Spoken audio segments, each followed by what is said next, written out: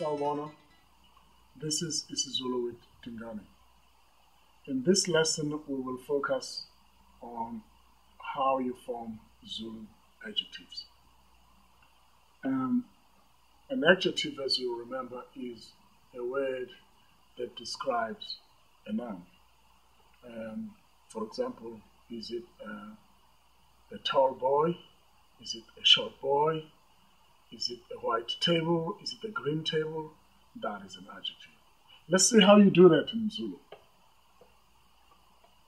Perhaps before I uh, get into that, I need to tell you that there are already an adjective in Zulu that are there for you. You just need to take those adjectives and plug them into a sentence. Now, as you know, when you do that in Zulu, there are other things that you need to understand, and that's what we're going to be talking about.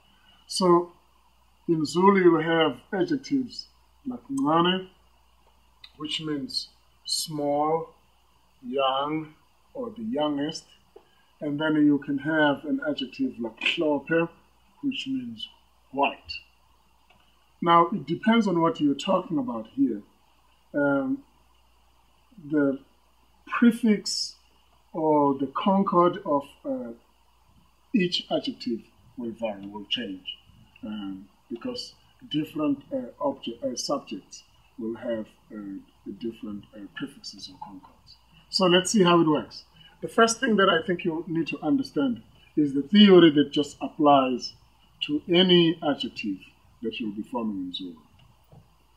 First of all, you need to understand that there is an A, we call this a uh, an adjective modifier. This is what makes um, an adjective in a sentence. In other words, if you plug this A uh, in front of the uh, adjective, that qualifies or that links or describes the noun. So an A is an adjective uh, modifier.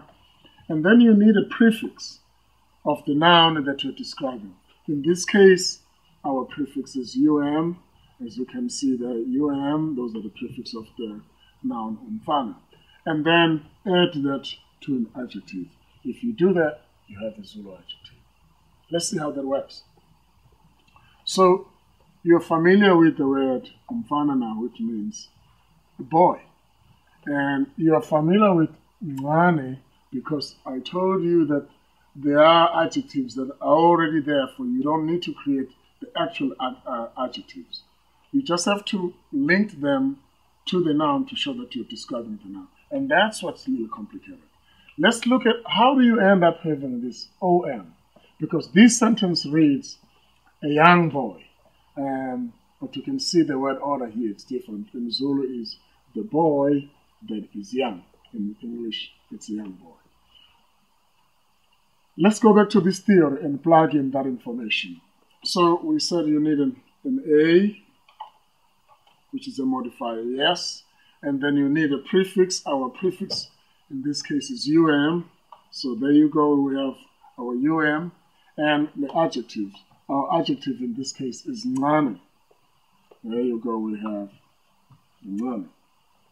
So all this will read together, you, the A, U, M, and ngane.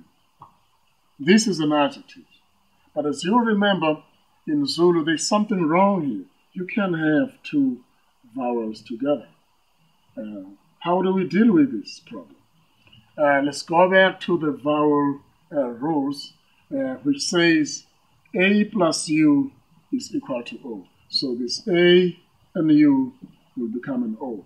And the correct version of this will be Om Ngane. That means the youngest one. And that's what we have over there. You see how that works?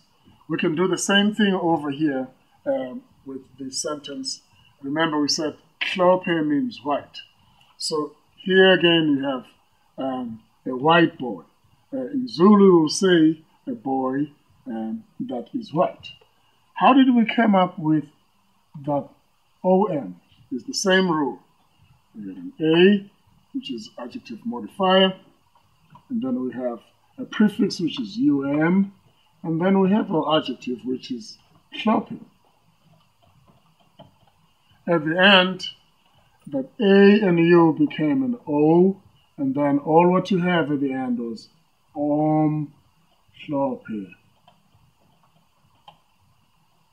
That boy is now white, but white describes the boy. I hope this makes it very easier for you to understand the adjectives. Now remember, I only use the same noun umfana. It will be different if I use a cat, if I use a dog, if I use a girl, because the prefix will be different. We can deal with that in a different uh, lesson, not in this one. For now, I hope you enjoyed the lesson on adjectives. Thank you.